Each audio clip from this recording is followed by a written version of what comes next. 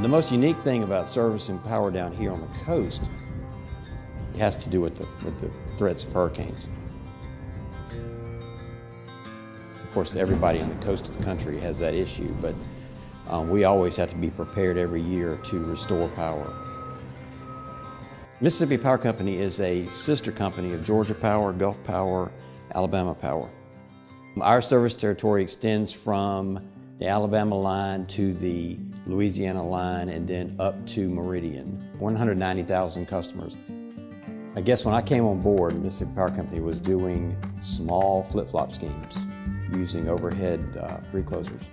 We did backup schemes, flip-flop schemes for uh, large key customers, hospitals, airports, casinos, to assist them, allow them some redundant power sources. We had been automating our 351R Schweitzer controls for several years prior to that.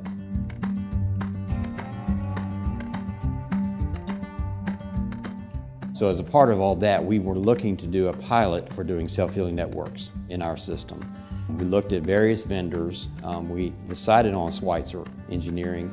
And I'll tell you, a lot of that is, had to do with our past relationship with Schweitzer, the support we got from the Schweitzer Engineering groups.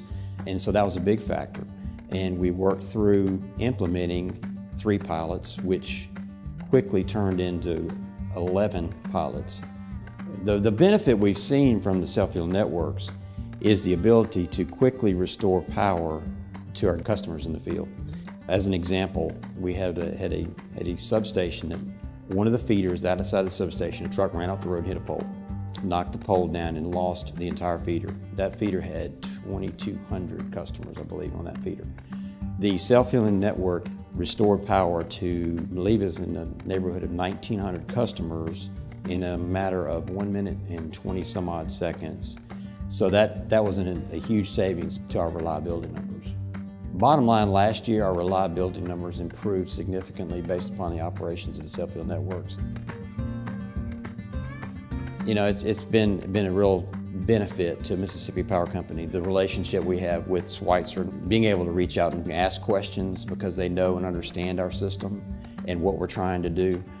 I've never had an issue with trying to get a hold of one of those individuals to try to help us with, with support. It's been, it's been a big, big plus to us in our relationship with Schweitzer.